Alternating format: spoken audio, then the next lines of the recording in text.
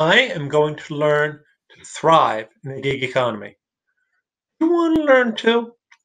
This is my weekly recap of what I've done so far as far as building a gig career. By the way, you can see I'm shooting this in a different room than last week because the feedback I got was that last week's background was too distracting.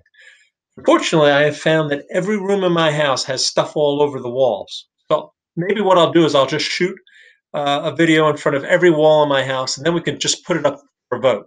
If you remember, I was going to focus on three areas this year. One was freelance editing, the other was real estate, and the third was online selling. I was able to complete a few editing projects this week, and I think that that's going to grow more. I last week I went to a Chamber of Commerce event locally, and I handed out my business card and met people, and it was an interesting experience because I've just been sitting at a desk for the last 19 years. I haven't had to go out and drum up business.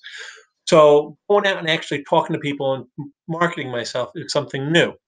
What was interesting is I met a woman who just starting a consulting firm. And she said, "Yeah, the nice thing about these networking events is everybody knows you're there to network, so it takes the pressure off." Remind me a little bit about what I think singles meetup would be. Not that I know about any of those. Uh, let me know if you think it's about the same. In fact, tonight I'm going to another uh, event. Five Chamber of Commerces are me- meeting. It'll be over 250 people there. So I'm going to show up with my business cards in one hand and my real estate cards in the other hand and try to get my name out there. Speaking of real estate, I joined Weichert and I'm learning a lot. I went on a few caravans where I went around and looked at the open houses that are on the market, and that's been kind of interesting. I'm very lucky. My mentor is a very experienced, very sharp uh, real estate agent. She's given me a lot of good advice. I feel like I want to run, and she's been saying, "No, no, you got to walk first. You got to walk first. Get up to speed. This is a long-term project, not a short one." And I think that's good advice, really. By the way, one thing she did insist that I hand out my business card to everybody I meet.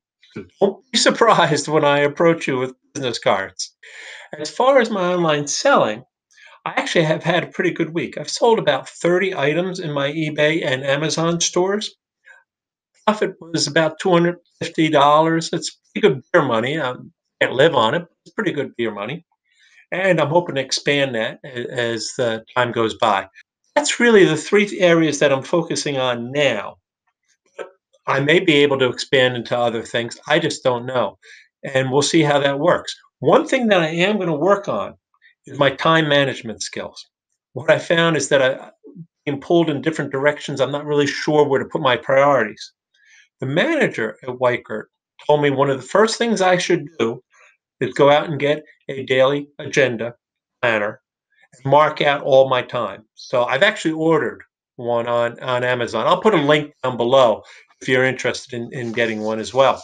It's really important if you're working for yourself that you understand exactly where your time is being spent. I think that's about all I've got right now, but if you if you have any advice for me on what I can be doing in the next week or so to help build my big uh, career, really appreciate it. Leave it in the comments down below. If you're enjoying this video. Please like it and subscribe, and I look forward to talking to you in the next one.